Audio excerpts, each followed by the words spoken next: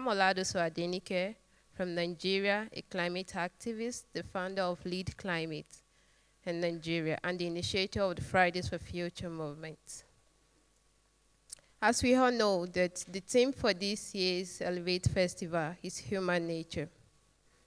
Since the advent of man, he has symbolically lived with his environment. Man cannot live without his environment, nor can the environment live without human. Hence, the nature of man is his environment, of which climate change is a principal called contributor.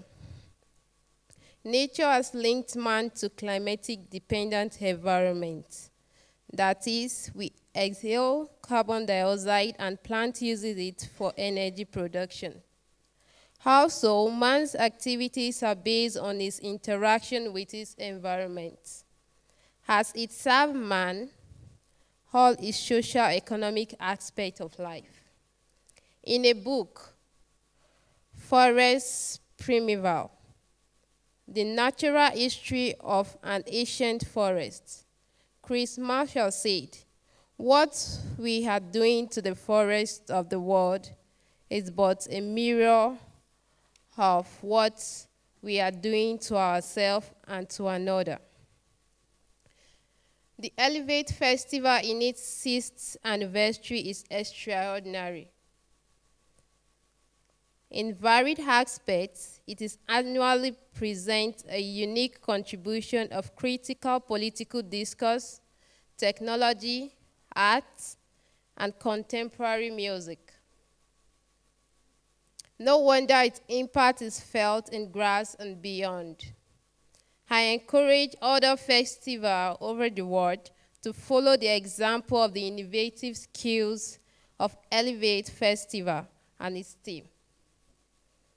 The Elevate Festival resonates with its environment as Graz is uni universally known for its lively, creative scene and internationally renowned education and research institution. No wonder Graz this destination has UNESCO City of Design. Now, I want to tell you my climate story. After the completion of my high school, I went to Federal University of Agriculture in Makurdi, where I am supposed to spend five years. But in turns, I spent six years. Why? Because of the climate crisis there. Where high school is called the food basket of the nation, Benue State. It is the north central of Nigeria. But due to the farmer and eldermen clashes, as in returns for competition of land and arable lands, it leads to loss of life and properties, of which is making those, that place to be inconducive for human and its species. And this crisis has led to thousands of, to tens of thousands of deaths since its peak in 2016. Personally, I spent extra one year due to the conflict arising.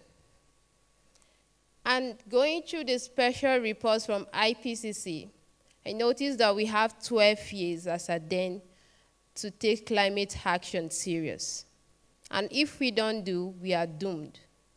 So I decided to join a movement called Fridays for Future to get involved and to tell people what they need to do so as to secure our future because we all have the right for a livable future. Now, many people wonder why I am called an ecofeminist. It all started in April 2014 when the Chibok girls were taken from the school due to insecurity issues. About 314 schoolgirls were taken from the schools. And this is what I see as the impact of climate change to our environment. Because one thing that climate change do is that it affects our environment. And since women have a close relationship with their environment, they become the first victims of this crisis. And in turns, it affects their children also. This has also led to, um, to, to, to armed bandits kidnapping another set of schoolgirls called the Dapchi schoolgirls. And one thing that climate change is doing in Africa is that it's leading to armed conflicts. We can see this in the Niger Delta crisis, and the Lake Chad crisis that is happening. We can also see it in other parts of African countries where all of these crises are happening. And what we need to do is to stop it. Because if we don't, the whole African country will be tagged a terrorist nation. And that is what we don't want. Now, what is the likely solution to this crisis? As a green democracy. And this is what I've also been campaigning for. With the effort of climate crisis unaddressed and leading to conflict and poverty, we need a democracy that is not only for the people, since people does not constitute nation alone. Because democracy is said to be for the people, by the people, and of the people. The earth is not made for the people alone. It's made for the environment and the people.